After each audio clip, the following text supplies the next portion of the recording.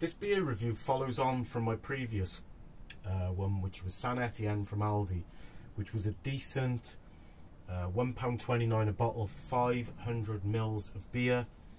Perfectly drink drinkable, cheap lager, but no off flavours, slightly metallic edge on the back taste, but really not a problem.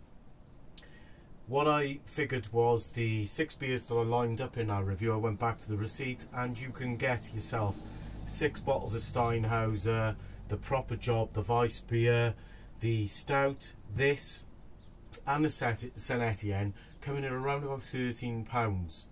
For that amount of beer it's fantastic. And I know for a fact at least half of that beer is very, very good indeed.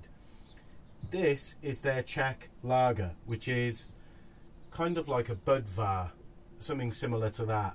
It's called Prarmo. It's um, 5%, yeah, 5% ABV. It's £1.69 for a 660ml bottle. I've not had this. It's a new one on me.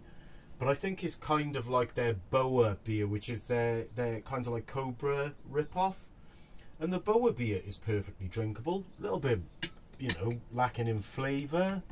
But, my God, you know, I've had a again, there's no off flavours in it. And if it's cooled down on a summer's day, you really, really wouldn't mind.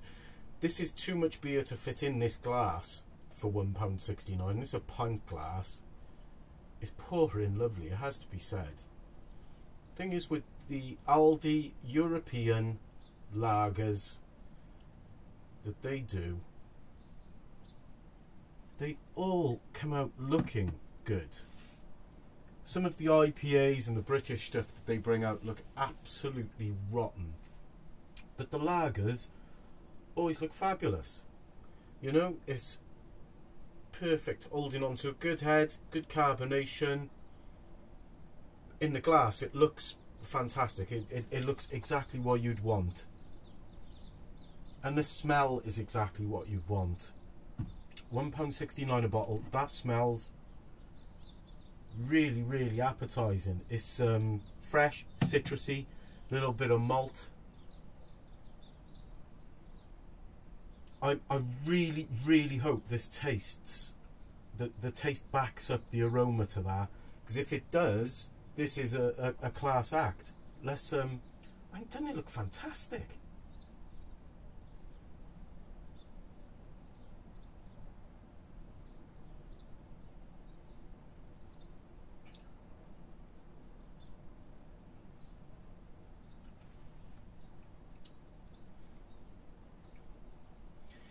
It's not that different to the San Etienne,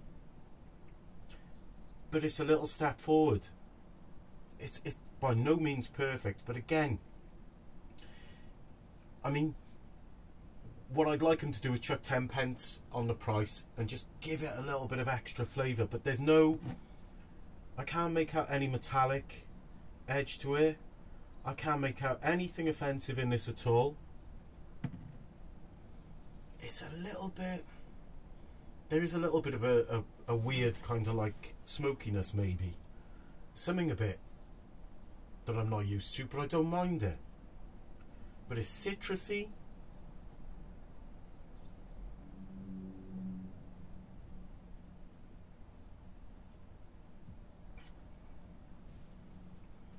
Nice nice little bit of hoppy flavour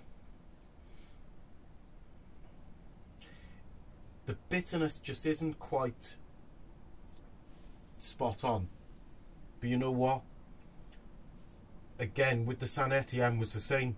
You pull one of these out the fridge, give it to someone, proper chill down on a summer's day, they're going to thank you for it, that's for sure. You will find better lagers out there.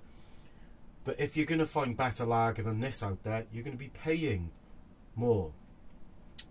You know, I come back to it. £1.69 is bargain price well, a bargain's only ever a bargain if it's drinkable, if it's half decent. And this is. This is worth your time. If you're skint in these difficult times, grab yourself four bottles of this on a Friday night, chuck the footy on. You will not regret it. You will not regret it. Um, I hope that's been of some assistance. Thanks very much for watching as ever. and have a wonderful weekend. Spring is here. Cheers.